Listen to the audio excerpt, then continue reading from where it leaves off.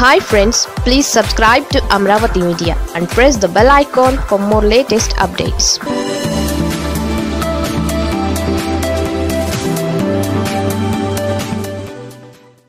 పండుగ చేసుకుంటున్న TDP media. AP ముఖ్యమంత్రి వైఎస్ జగన్మోహన్ రెడ్డి తన నూతన కేబినెట్ను ప్రకటించారు.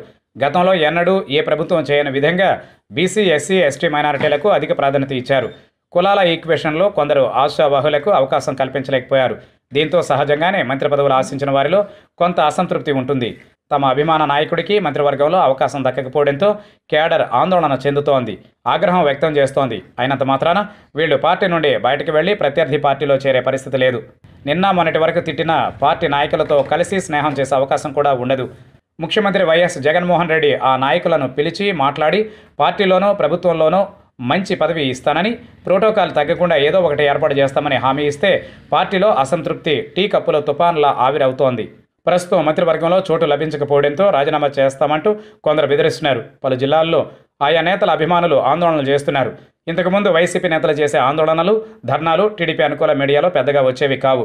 కేవలం సాక్షిలోనే వైసీపీ నేతల వార్తలు ఎక్కువగా వస్తూ ఉంటాయి. కానీ ఇప్పుడు కానీ ఇప్పుడు వైసీపీ శ్రేణుల ఆందోళనలు సాక్షిలో కనిపించడం లేదు. కానీ మంచి స్టఫ్ దొరికినట్లు టీడీపీ అనుకూల మీడియా వైసీపీ కార్యకర్తల ఆందోళనలను హైలైట్ చేస్తున్నాయి.